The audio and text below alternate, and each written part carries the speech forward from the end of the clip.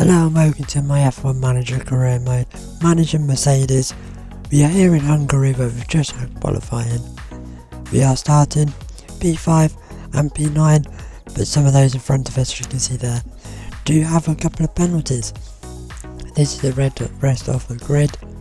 So let's get into the strategy for the Grand Prix. There is a bit of rain expected very early on in the Grand Prix you can see there quite a bit so basically what we are going to do is start both Lewis and George on the soft tyres and hope the rain comes before their soft tyres run out so let's go to the race And here we go with the Hungarian Grand Prix.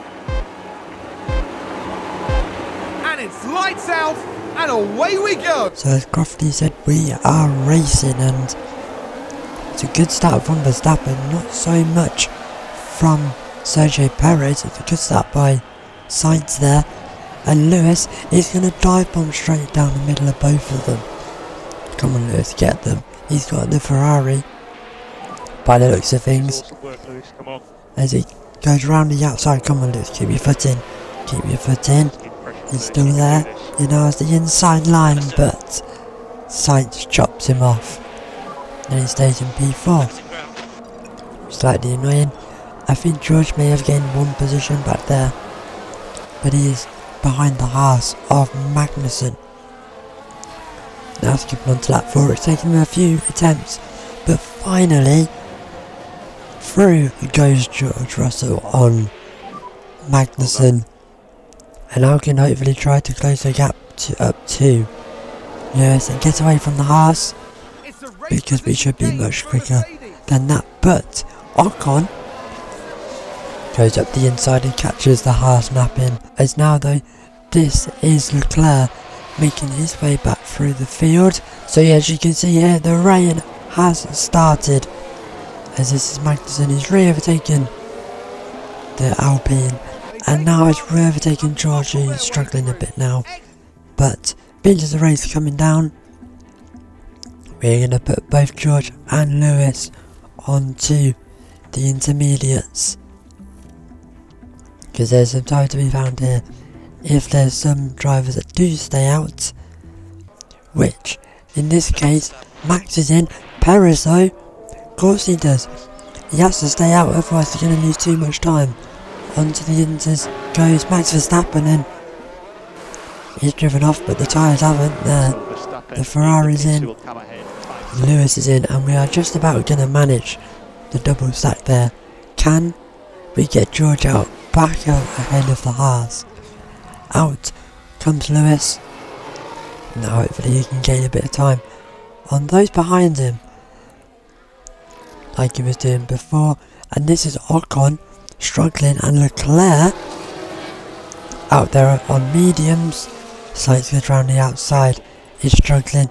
This is Hamilton on Ocon, who is actually on the full wet tyres. Do Alpine think this is going to get wetter, but he is struggling so much at the minute as we go through on the inters.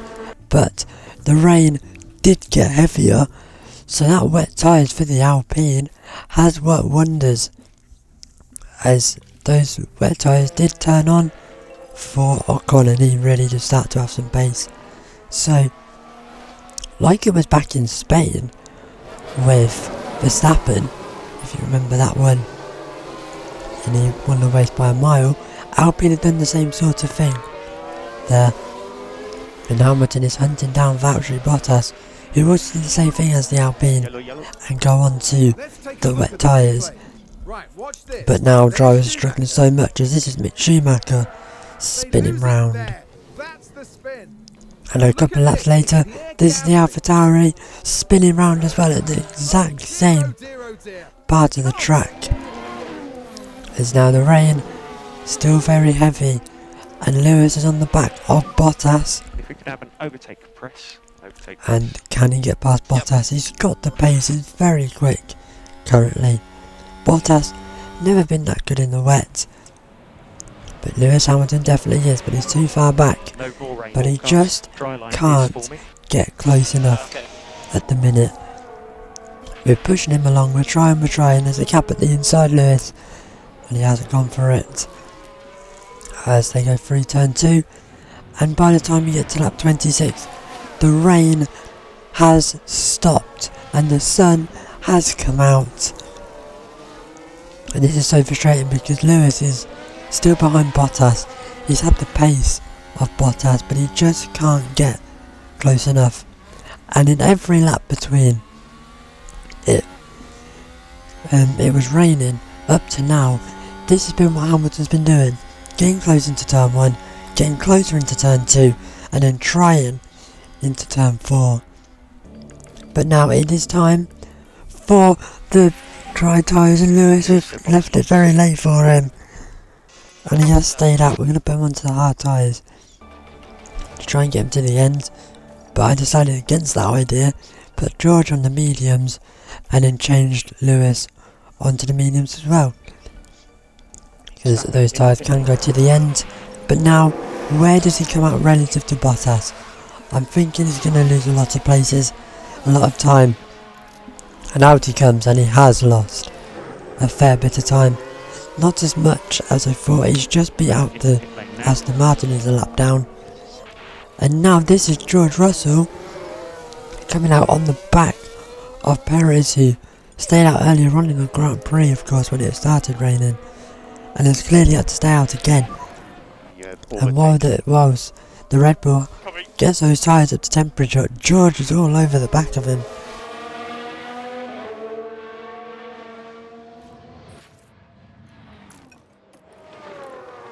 And now George has managed to stick with Perez and up the inside of the Red Bull at turn 2.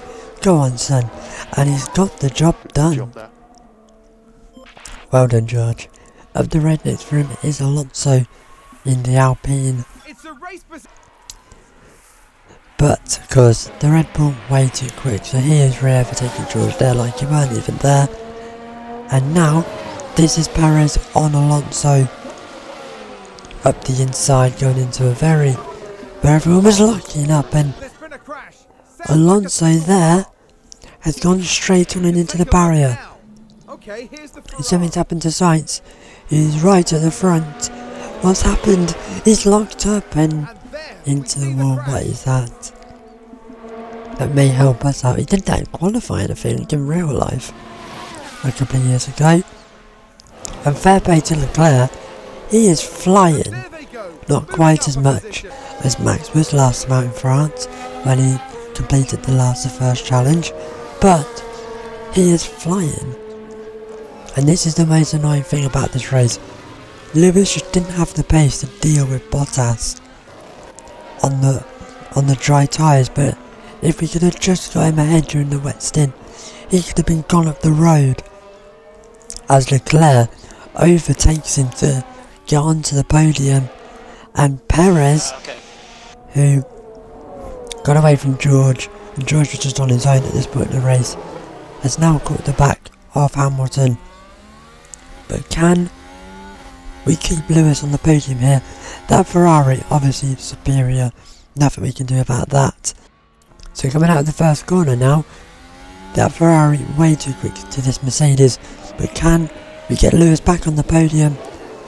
To the inside, and that's a great move, Lewis. And he has re-overtaken him there, cuts him across the turn three. And now, hopefully he can stay there. But, as I think I mentioned in the last video, or the Austria video, this footage is very old as he's overtaken again by Leclerc. So this was back when the DRS was very, very powerful. So, and also, Hungary, sort out your DRS please, because it's really annoying that there's only one detection zone and it just makes the second DRS zone completely useless if you're trying to defend and you've lost out at turn 1. But as you can see now the podium chance is gone, don't need to worry about that anymore. Leclerc's gone and now Perez may well be past us now into turn 2 and he is. And that's that, I'm pretty sure now. 15 laps to go. Unless Lewis can stick with him. But on to the final lap then, round the final corner. Max Verstappen has done exactly what he did last time out. Minus the comeback drive. He wins the Hungarian Grand Prix by some margin. And you can see here, Leclerc has got Bottas, who's defended him. Bottas flags. been in P2 most of this race. And now, coming into the final corner, fair play Valtteri Bottas, Alfa Romeo have got the strategy bang on. P2 for Bottas, P3 for Leclerc, great comeback drive. Lewis, P5, and he's going to be Well, mate, we believe in you. P6 for Gasly, P7 for Sainz, Perez P5, George can only manage P8. So they've lost out, but I think for how the race played out, I don't think that's too bad. More points on the board as well. As we go into the summer break, so not a bad way to into the summer break. Obviously, we were staring at a podium, and maybe if Lewis got Bottas, we could be sat here talking a completely different race. But great result from Valtteri Bottas. Down at the back, still Williams and Aston Martin, and that's pretty much been this race. So Leclerc has kind of taken a dent in his championship with back-to-back wins for Max Verstappen, but Max, uh, we'll see what he has to do. I think that is too much of a big mountain to climb for him at the minute.